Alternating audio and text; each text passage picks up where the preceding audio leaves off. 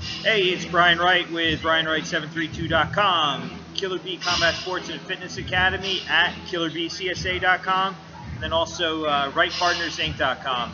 So I'm coming to you live from the gym here at Killer B. I've got Little Bee with me, and uh, it's a little loud in the back because we're busy right now. I got to apologize for that, but I just got a point I want to make. So one of the main things that we have with terms of retaining customers, members, whatever, is just having a sense of gratitude and appreciation for them. You'd be amazed at what you could learn by asking simple questions with your clients like, how are you? How is our service helping you? Because at the end of the day, the only way you're going to retain business is by providing a service that's going to have value for them. Now, if this is a service that has a prolonged period of time, like in a gym, you want to get them as lifetime members, you have to constantly be upping your game and making sure that your value is constant for them. Which means you have to actually ask them some questions, you have to communicate, and you can't act like, well, it's my place, I have this amazing system, come from it, benefit, whatever. You have to tweak the system or at least tweak the message so that it's delivered in a way that constantly keeps your person engaged. I don't believe in the inmates running the asylum philosophy where you change what you do to fit the needs of people.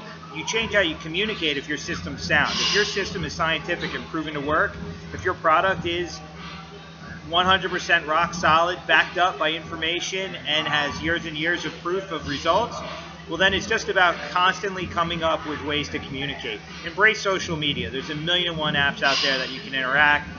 Embrace their hand. When they come through the door, shake their hand, say hi. I haven't asked you how you're doing in a while. How are you doing? What's going on? How's training going for you? You'd be amazed. I've had some of the most pe people that I thought were some of the most disengaged members in my facility have given me some of the most profound insights into what I do. So never underestimate anyone, never underestimate the passion. Everybody's going through their own struggles, and sometimes that creates a little bit of a barrier for communication for them and you.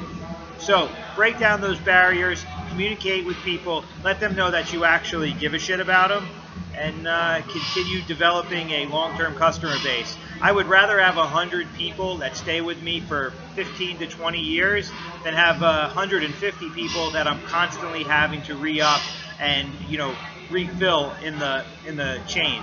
You know, consistency is the key in all business. So embrace your customers, embrace your message.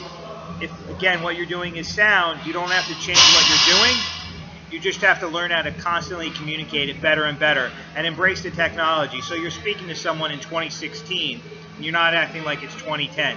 So stop updating your MySpace profile and stop trying to find Friendster because they went out of business and get yourself on Facebook, get yourself on Snapchat, get yourself on Instagram, have a very good functional site and make yourself visible in the world, not just online. All right? Peace out.